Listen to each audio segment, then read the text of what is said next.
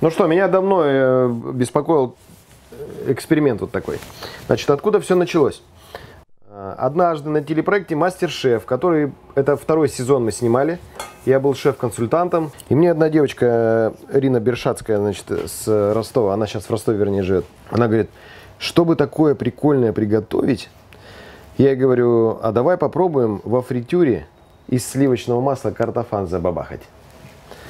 И она такая, а что, так можно было бы? Я говорю, слушай, я никогда не делал, давай попробуем. И мы тогда попробовали первый раз. Она, правда, чуть студию не сожгла, э, но было очень забавно. Давай начнем с, с разогрева масла. Значит, я фритюрницу стационарную, она есть у нас э, внизу, потому что в этом футраке есть практически все, что можно себе представить. Э, но э, я решил, что либо мы вообще разоримся на сливочном масле, либо я обойдусь раз, два, три, четыре, пять 5, это 2,5 минус 200 граммов, 2 300. А давай сейчас вначале закинем, вот так вот, и совочком скребем в масле, да? Андрей Токарев, мой друг, э, человек, который делает вот такие прекрасные фудтраки. И, значит, мой экспериментальный опыт работы с фудтраком начался в 2015 году, когда мы с ним вместе на гастрите делали ставили футрак и делали там утиное меню. Э, но меня не отпускает мысль, что возможно, когда-нибудь у меня будет, что-нибудь свое, поэтому мы у него в гостях, и он рассказывает о том, э, например, как, не как, а какой самый дорогой фудтрак вот заказал человек. Ну, мы-то все понимаем, ну, вернее, не знаю, расскажи там в начале, есть некая себе, ну, есть начальная стоимость футрака, типа он там пустой или что, колеса? Ну да, у самого футрака есть как стоимость, э, базовая комплектация – Сколько он стоит? В нее входит самое необходимое, то, что должно ну, в любом футраке на любой кухне быть. Это столешница, мойка, вытяжка, там, вода горячая, холодная, ага. шкаф для одежды, полки и подготовка по электричеству. У нас такой прицеп, э, ну, мы находимся в прицепе длиной 6 метров, 16 метров он внутри. То есть, ну, полноценная кухня. Э, которая стоит 1 э, миллион 850 тысяч рублей. Это начинается, вот стартовая цена. Стартовая цена еще дешевле. Есть варианты за миллион шестьсот. Внутри ничего нету, да? Нет, вариантов отделки там от того, от пятого, от десятого. Ну, как бы средняя нормальная комплектация миллион восемьсот пятьдесят. Для того, чтобы начать работать в таком футраке, э, вам нужно будет потратиться еще там 150 тысяч рублей на покупку настольного оборудования, в зависимости от концепции. Так, ну приходит человек такой и говорит, типа, мы там ничего покупать не будем, мы там готовы, вот вы сами нам проект сделаете полностью под ключ.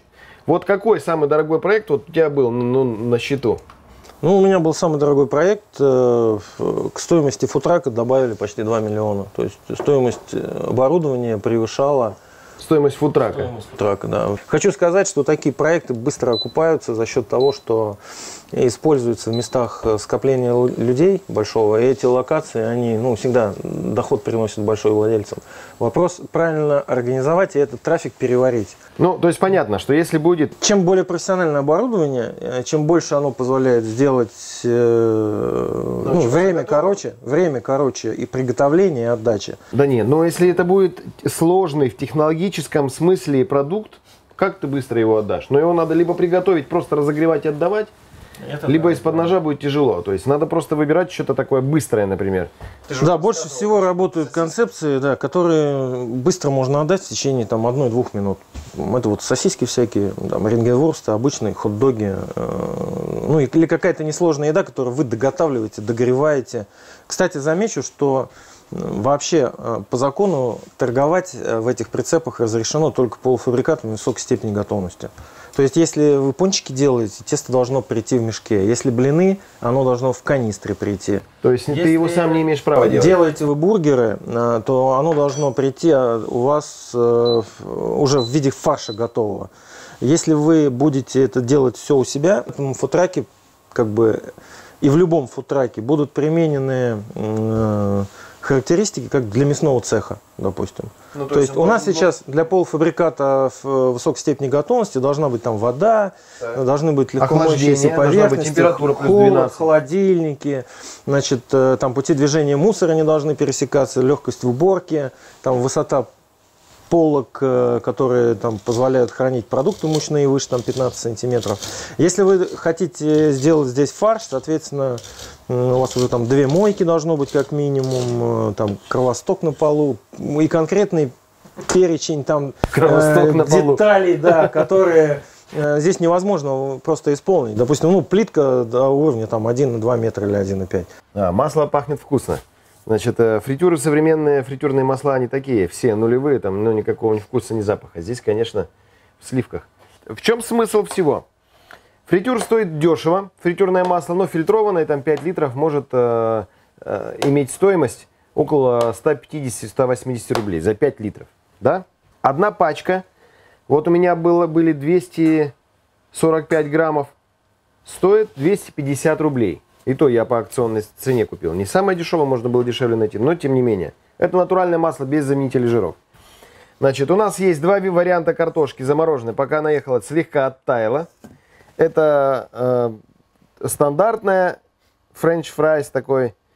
И, соответственно, картофель по-деревенски, ну или дольки, как их называют. Айдахо с кожурой, да. Дольки с кожурой. Да, мы на MasterChef е, значит, э, как не спалили студию. Э, плитки были газовые.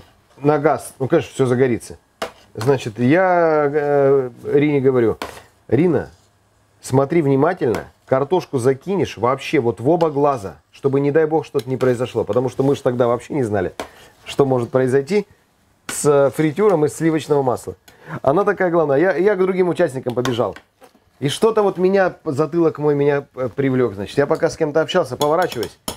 И я вижу, она берет картофан, э, нарезала его кубиками, очистила, сырой и туда бросает кипящее масло. Да. Объем повышается, газ, что-то там, я не знаю, что происходит.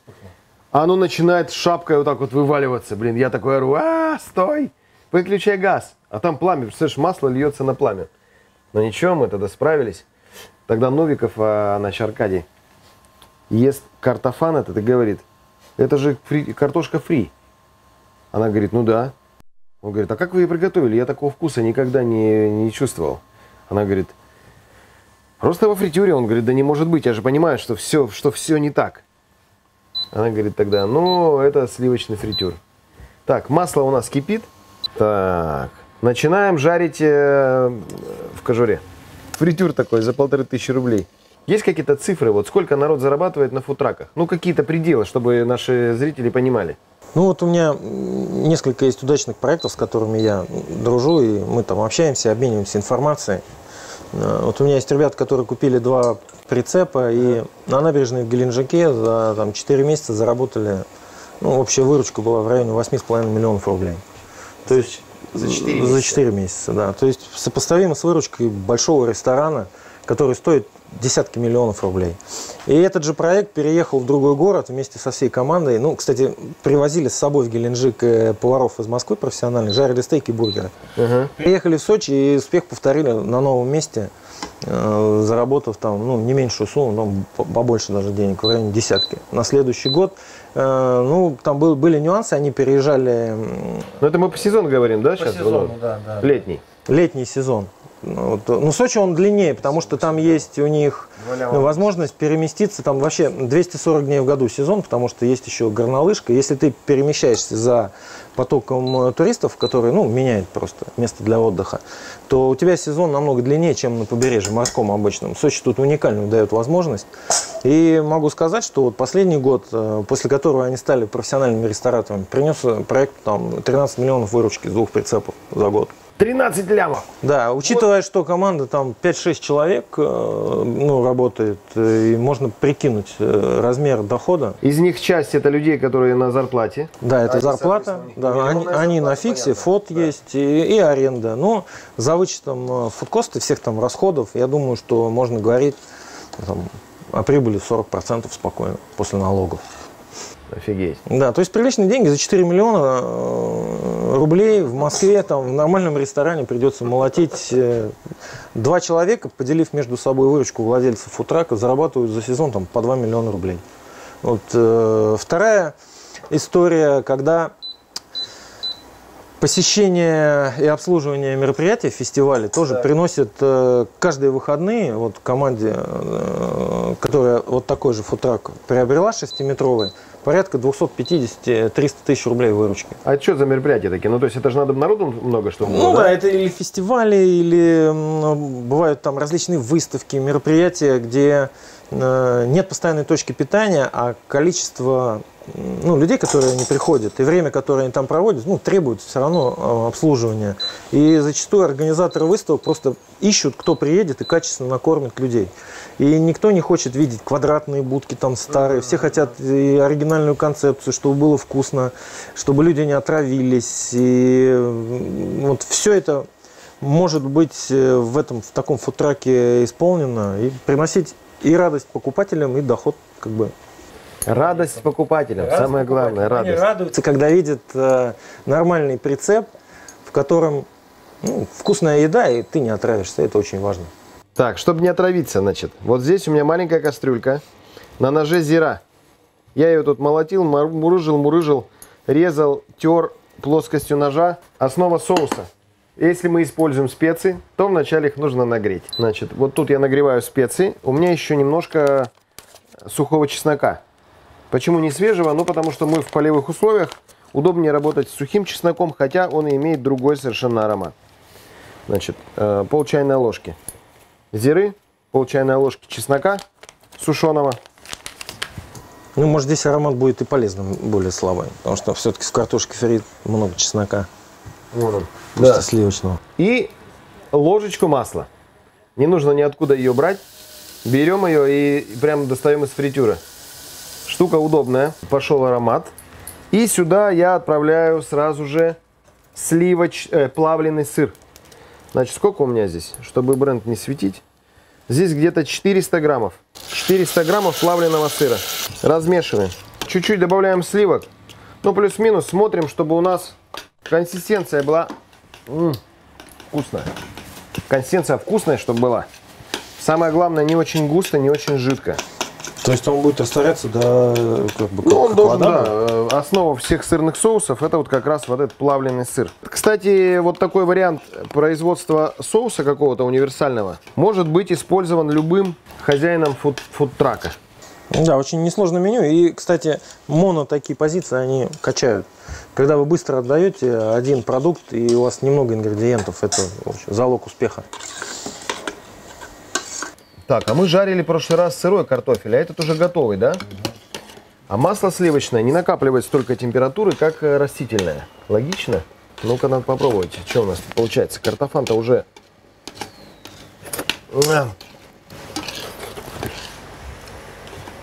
Картофан готовый?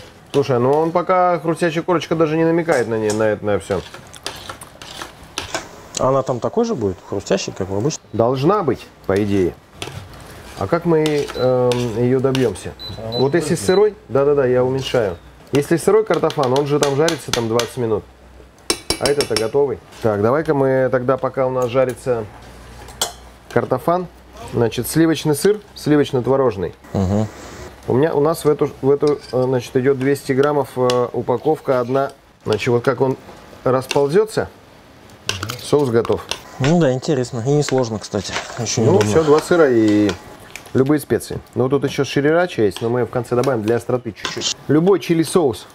Но сейчас вот тайцы завезли, это же Таиланд, оттуда пошло все это. Соус получился вот такой вот. Когда он будет немножко остывать, он, соответственно, чуть гуще станет. Теперь пробуем.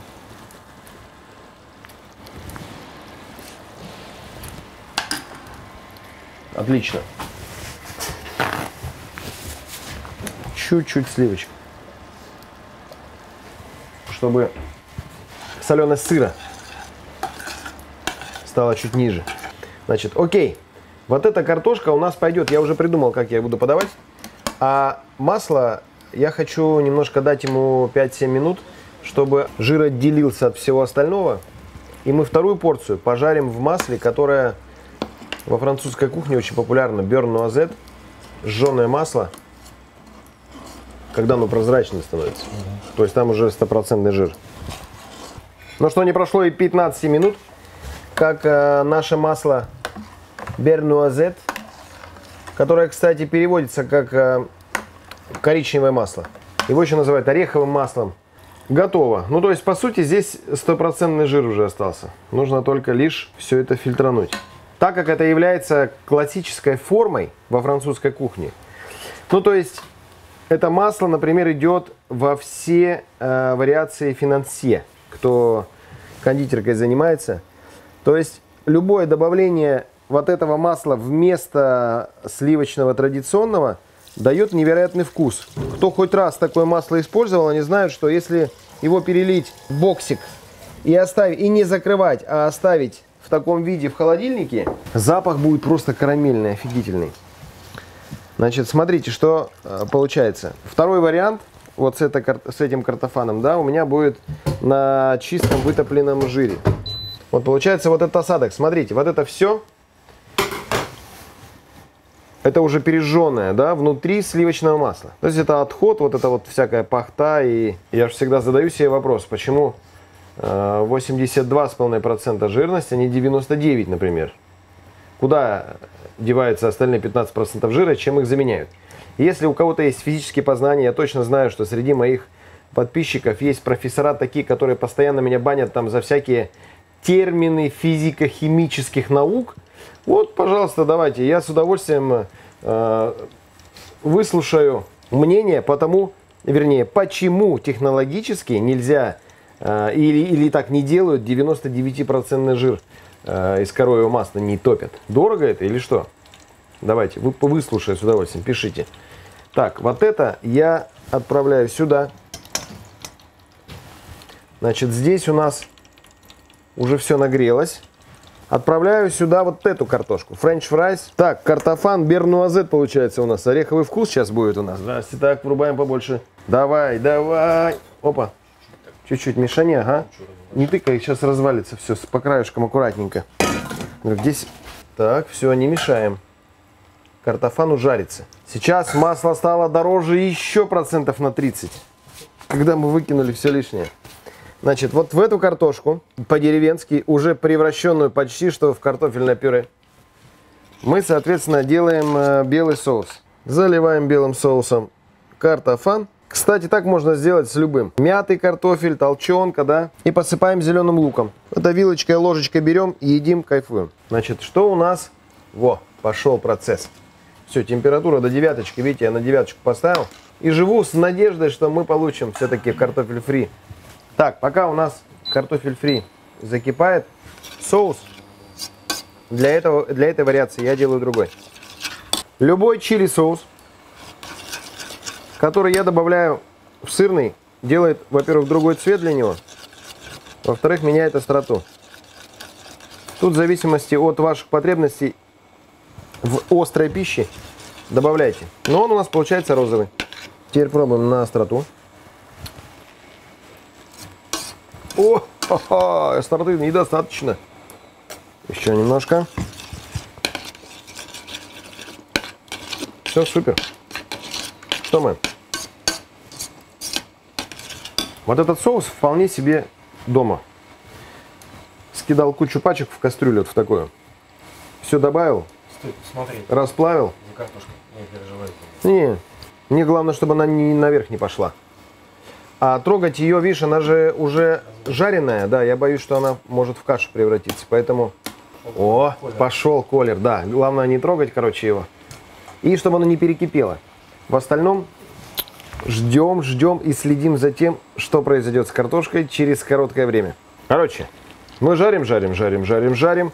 Масло подкипает, подкипает, подкипает. Все темнеет и темнеет. Все темнеет и темнеет. Картофан помаленечку сохнет. Но, короче, пора вынимать. Не добьемся мы результата хрустящей корочки. У Хесна Блюменталя есть ролики, в которых он объясняет, как добиться хрустящей корочки. Но, значит, отдельно в следующий раз я буду э, проводить теорию по не по готовому картофелю, а по сырому. Соль здесь. Соли немножко, потому что у меня же еще соус сырный, соленый. О, а вот так круто. Попробуй. А если две картошки? Макнуть, а если взять вот так. Две вкуснее, чем одна. Во втором варианте соус у нас будет на дно. Вот так, не жалейте его. А картофан, Разрушу дизайн немножко. а картофан будет вот сюда. Холестериновое блюдо, холестериновое блюдо. Но вкусно, зараза. Мне кажется, что можно сюда даже огурцы попробовать пожарить, и они все равно будут вкусные. В этом масле? В масле, да. Масло, да. Масло как карамель. Такой вкус дает классный. Обязательно дома попробуйте это сделать, потому что в ресторане вы никогда этого не попробуете. Там ценник будет космос. Ну и вообще, кому из поваров придет в голову делать картошку во фритюре из сливочного масла? Только нам и только в футраке. Всегда же, когда на свежем воздухе готовишь, гораздо вкуснее получается.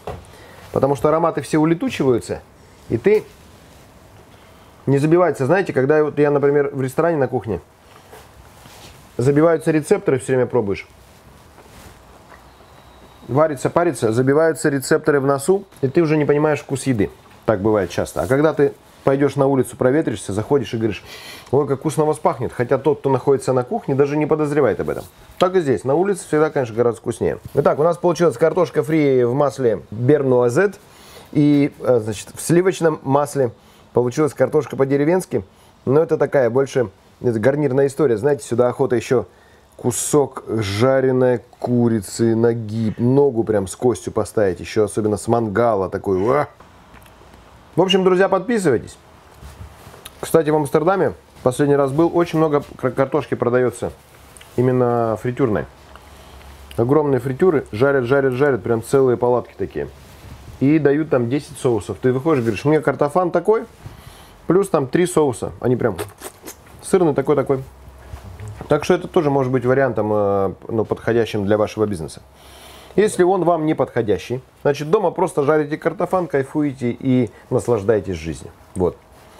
Мы с вами прощаемся. До новых встреч. Картофан получился великолепный. Как вы уже поняли, я даже что-то я понимаю, что нужно говорить с, с чистым ртом, но все, пока, а то я так буду долго трендить.